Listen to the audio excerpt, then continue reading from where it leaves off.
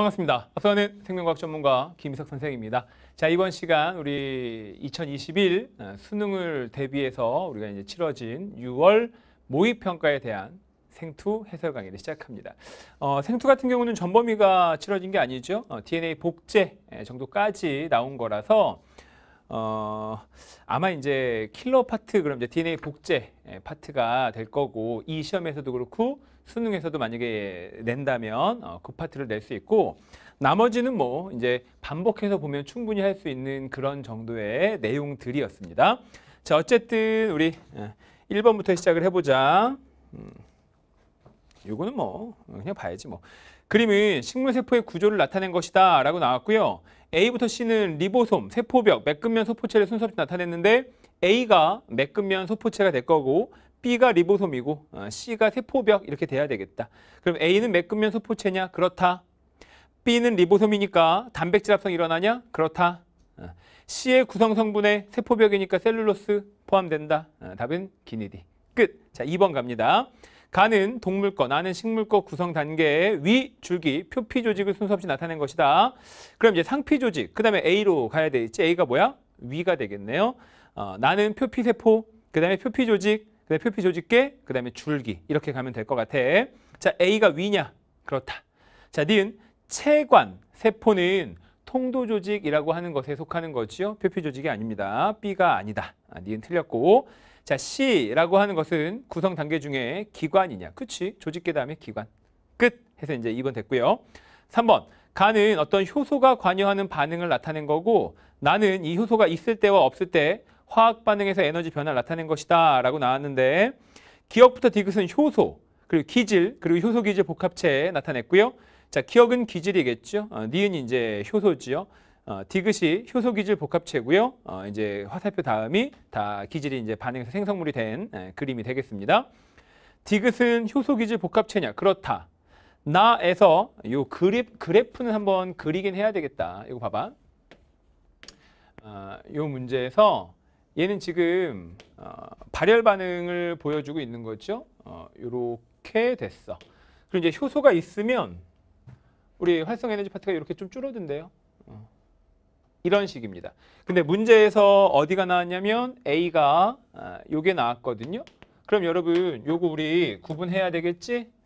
요게 뭐야 요거? 어, 요게 활성화 에너지고 여기가 뭐야? 이게 반응열이잖아. 그치? 근데 이제 문제에서 효소가 없을 때 활성화 에너지가 요거냐라고 물어봤어. 자, A라고 하는 것은 효소가 없을 때 활성화 에너지와 반응열을 더한 값이다. 아, 이렇게 가야 되겠죠? 니은 틀렸고.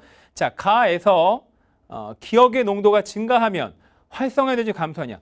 활성화 에너지는 효소의 영향을 받는 거고 효소의 양도 상관없어요. 효소가 있으면 그냥 주는 거야. 알겠지? 해서 어, 디귿 틀린 얘기. 기질 농도랑은 상관이 없습니다. 해서 이제 디귿 틀렸다. 3번 끝. 4번으로 갈게. 이건 3번 그래프였고요. 4번 인지질과 RNA에 대한 설명. 세포막의 구성 성분에 인지질 있냐? 세포막. 그럼 인지질 이중층의 단백질 됐고 어, 있고요. RNA의 기본 단위 뉴클레오타이드 이렇게 돼야 되지. 핵산이니까 아미노산 말도 안 되는 거고. 니은 틀렸고. 디귿 인지질과 RNA의 구성 원소에 모두 인이 있냐? 인지질은 인 있잖아. 그지? 인 지질이니까. 그 다음에 이제 RNA 같은 경우에 어, 인 있지. 인당염기 1대 1대1로 있을 거니까. 그 뉴클레오타이드에. 그래서 인 포함돼. 어, 답은 기디. 끝. 자, 이제 5번 간다. 그림은 광합성이 활발하게 일어난 어떤 식물의 명반응에서 전자가 이동하는 경로를 나타낸 것이다. 전자 전달계가 쫙 나왔거든요. 그럼 이제 물질 X는 전자 전달을 차단해서 광합성을 저해한다라고 표현을 했어. 자, 그러면 문제 가자. 기역번. 동그라미 기역은 최종 전자 수용체가 되겠죠. NADPH냐? NADP 플러스다. 라고 고쳐야 되니까 기역은 틀렸고. 관계 2. 반응 중심 색소 P680. 됐어. 이거 맞는 거야. 자, 그 다음에 어, 스트로마의 pH, 틸라코이드 내부의 pH는 X를 처리한 후가 처리하기 전보다 작냐 크냐라고 물어봤는데 전자 전달계를 거치지 못하게 만들었어. 그러면 양성자 펌프를 통해서 H 플러스의 능동 수송이 일어나지 않겠지. 그럼 틸라코이드 내부로 H 플러스가 이동하지 않겠지요. 그럼 틸라코이드 내부의 pH는 상승합니다. 그래서 틸라코이드 내부의 pH는 상승할 것이고 스트로마 쪽의 pH는 감소할 거 아니야. 그지? H 플러스가 이동하지 못하고 거기 남아 있으니까. 그러면 감소한다? 그럼 분모값이 작아지고 분자값이 커지면 커져야지. 처리한 후가 전보다 크다로 가야 되는 거야. 그리고 여러분 요 5번 문제 어, 이제 문제는 다 풀었어.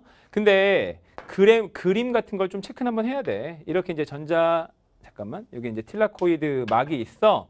그럼 이게 틸라코이드 내부. 그럼 이제 이렇게 그냥 아, 퉁쳐서 그리자.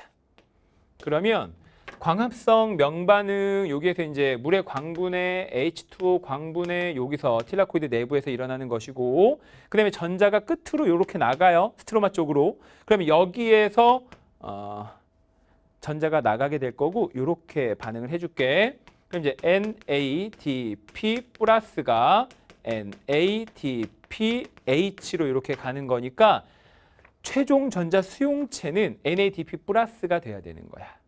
알겠지? 그리고 이제 그 전자 전달을 못하게 막았다라고 했으니까 우리 어떻게 하냐면 전자 전달계에서 막 전자 전달하면서 에너지가 생기잖아. 그러면 어떻게 H 플러스를 스트로마 쪽에서 어, 틸라코이드 내부 쪽으로 능동 수송합니다.